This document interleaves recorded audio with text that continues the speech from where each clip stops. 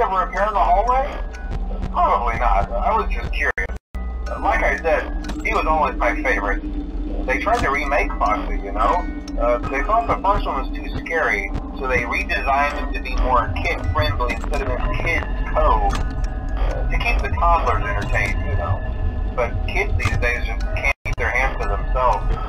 The staff literally had to put Foxy back together of every shift. Eventually they just stopped trying and left him as some kind of take apart, put back together attraction. Now he's just a mess of parts. I think the employees refer to him as just the mangle. Uh, oh hey, before I go, uh, I wanted to ease your mind about any rumors you might have heard lately.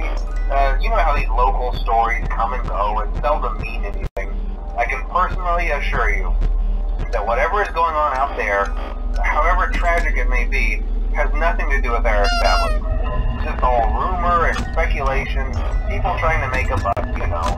Uh, our guard during the day has reported nothing unusual, and he's on watch from opening till close. Okay, well anyway, hang in there and I'll talk with you tomorrow.